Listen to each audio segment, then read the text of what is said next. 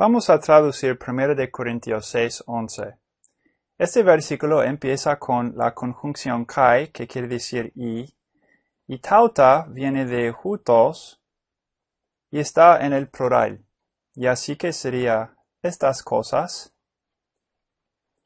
Y tienes quiere decir ciertos o algunos. Y ete viene de emi, la segunda persona plural, en este caso en tiempo imperfecto. Y así que tenemos estas cosas erais algunos. Y al se puede traducir pero, sino. La traducción más clásica sería más. Vamos a ir con esa traducción. Más. Y luego vemos un verbo que es de mucho interés. Podemos fijarnos en dos rasgos que tiene. Sigma alfa es el morfema del tiempo del tiempo pretérito, y la ste es el morfema de persona y número en voz media. Y así que tenemos estos dos rasgos, y este verbo viene del verbo apaluo. Y la epsilon se explica por qué está en el tiempo pretérito, ¿verdad? Tiempo pasado. Apelusaste. Hablamos un poco más sobre la gramática de estos verbos pretéritos en gramática básica del griego bíblico, pero en este video queremos dar una demostración nomás de la importancia de entenderlos y poder traducirlos bien. Cuando se ve el morfema del tiempo sa, ya sabemos que estamos tratando el tiempo pretérito, y el morfema de persona y número o la terminación del verbo aparece en voz activa, sabemos que estamos tratando la voz activa. Y cuando se ve sigma alfa, más la terminación media, sabemos que estamos tratando la voz media. Y eso es lo que tenemos en este ejemplo aquí. Y luego cuando se ve theta eta, el cual vamos a ver en este verbo y también en este verbo, más las terminaciones activas, sabemos que estamos tratando la voz pasiva. La voz media, en griego, es medio distinta, en el sentido de que cuando el verbo es voz media, el sujeto hace alguna acción, pero en algún sentido las consecuencias de esa acción caen sobre el sujeto, y por eso no es necesariamente activa, pero ni tampoco pasiva. La acción se describe como una acción en voz media.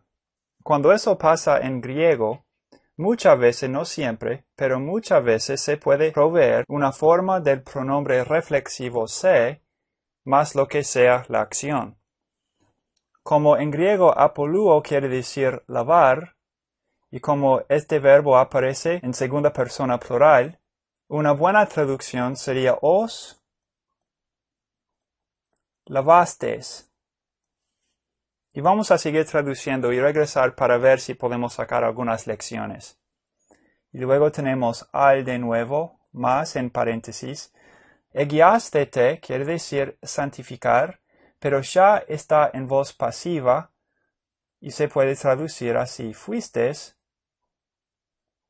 santificados. Más de nuevo. La voz es la misma, voz pasiva, fuistes, este verbo quiere decir justificar. Así que es justificados. Y luego sigue la traducción, ¿verdad? En el nombre tu curio Jesucristo del Señor Jesucristo y en el Espíritu de sería nuestro y Dios. Nuestro Dios. Queremos pensar por un momento en por qué el cambio entre estos verbos. Os lavastes, fuisteis santificados y fuisteis justificados. Primeramente, Cristo puede dar al pecador una nueva identidad.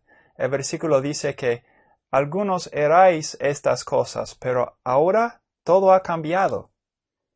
Y luego vemos que la gramática es importante, porque Cristo nos justifica y santifica, y por eso esos verbos aparecen en voz pasiva. ¿Quién puede justificarnos y santificarnos? Solamente Cristo puede.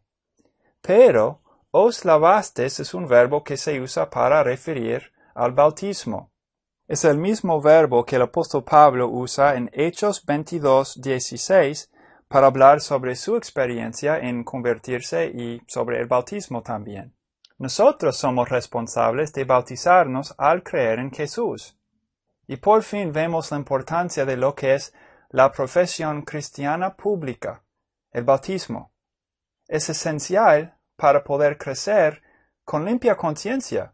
El apóstol Pedro habla sobre la naturaleza del bautismo en su primera carta capítulo 3, versículo 21.